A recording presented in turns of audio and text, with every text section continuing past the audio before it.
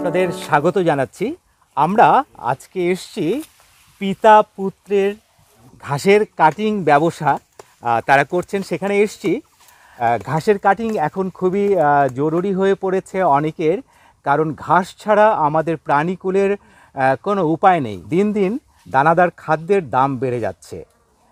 আর ঘাস হচ্ছে আমাদের গরু, ছাগল, এদের জন্য খুবই গুরুত্বপূর্ণ খাদ্য। তো আমি স্বাগত জানাচ্ছি সজীব তুমি এবং তোমার বাবা মিলে করছ এই ঘাসের কাটিংয়ের ব্যবসা। জি জি। তোমরা কি কি ঘাস লাগিয়েছো? আমরা লাগিয়েছি যারা ওয়ান হাইব্রিড ঘাস আচ্ছা। লাল পাচ্চং ও জার্মান হোয়াইট হাইব্রিড আচ্ছা। আর অজানা হাইব্রিড এবং স্মার্ট নেপিয়ার আচ্ছা আমরা পেছনে যে ঘাসটা দেখতে পাচ্ছি এই ঘাসটার নাম কি? এই ঘাসটার নাম হলো জারা ওয়ান হাইব্রিড ঘাস। আচ্ছা।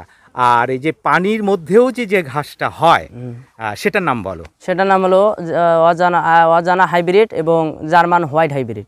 আচ্ছা তার মানে সব রকম ঘাসের কাটিং তোমাদের কাছে আছে? জি। আচ্ছা তো এখন হাতে আমরা যেটা দেখতে পাচ্ছি এটা কি এটা হলো জারা ওয়ান হাইব্রিড ঘাসের আচ্ছা, কাটিং কাটিংটা তাই না? এই কাটিং তোমরা বিক্রি করছ? জি অনলাইনের মাধ্যমে সেল করি। আর তোমরা কুরিয়ারে দাও? জি। তাই না? জি। কাটিং এই কাটিং এর রেটটা কি বলা যাবে? জি এ রেট বলা যাবে। এটা জারা ওয়ান হাইব্রিড ঘাসের কাটিং এক টাকা পঞ্চাশ পয়সা করি। এক টাকা পঞ্চাশ জি। আচ্ছা আর যে পাকচুং যেটা যেটা লাল পাচ্চং হ্যাঁ। লাল পাচ্চং ঘাসের কাটিং হলো দুই টাকা পঞ্চাশ পয়সা করি। আচ্ছা আর যেটা যে ওই যে মানে পানিতেও হয় যে জমিতে পানি লেগে আছে তারপর গাছটা ঘাস মরে না সেই ঘাসটা ওটা কাটিং কত করে বিক্রি অজানা হাইব্রিডটা আমরা বিক্রি করি এক টাকা পঞ্চাশ পয়সা করে ওটাও আর আমরা জার্মান হোয়াইট হাইব্রিড এটা বিক্রি করি এক টাকা বিশ পয়সা করি। আচ্ছা এই যে তোমরা কুরিয়ারে পাঠাও কুরিয়ার খরচটা কে দেবে?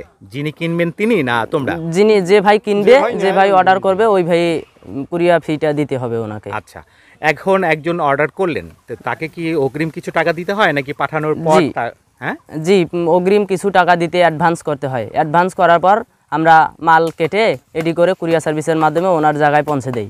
আচ্ছা এই যে কাটিংগুলো এই কাটিংগুলো তোমরা যখন কুরিয়ার করছ তো সেগুলো তো দুই তিন দিন সময় লেগেই যায় তাই না? জি জি। তখন কি কোনো সমস্যা হয়? না কোনো সমস্যা হবে না বরঞ্চ ওই বস্তার ভিতরে থাকলে মনে করেন যে ঘেমে ওই কাটিংগুলো দিয়ে কি সুন্দর গজা বাইর হবে। আচ্ছা মানে মানে এখান থেকে চারা বের হয়ে যাবে জি, জি, চারা বের আচ্ছা কুরিয়ার থেকে কাটিংগুলো নেওয়ার পর সঙ্গে সঙ্গে কি জমিতে লাগাবে নাকি কদিন মানে রেস্ট দিতে হবে? মানে রেস্ট দিতে হবে বাড়ি বাসায় নিয়ে গিয়ে বাসার মানে পানি কিছু পানি সিটা দিতে হবে। সিটা দেওয়ার পর দেখা যাইতেছে অনেক সুন্দর হবে কাটিংগুলো এবং সতেজ থাকবে। আচ্ছা তাহলে মানে একদিন না দুই দিন কয়দিন বিশ্রামে রাখতে হবে? দুই দিন বিশ্রামে রাখতে হবে। দুই দিন বিশ্রামে রাখার পর তারপর জমিতে লাগাতে হবে। জি। তাই না? কেউ যদি কিনতে চায় তাহলে আমাদের ভিডিও ডিসক্রিপশন বক্সে ফোন নাম্বার এবং তোমাদের যোগাযোগের ঠিকানা থাকবে। সেখানে যারা ক্রেতা তারা কিনতে পারবেন। ঠিক আছে সবাই আপনারা ভালো থাকবেন সুস্থ থাকবেন সুখে থাকবেন। আর আপনারা যারা দেখলেন আপনারা সবাই সুস্থ থাকবেন সুখে থাকবেন।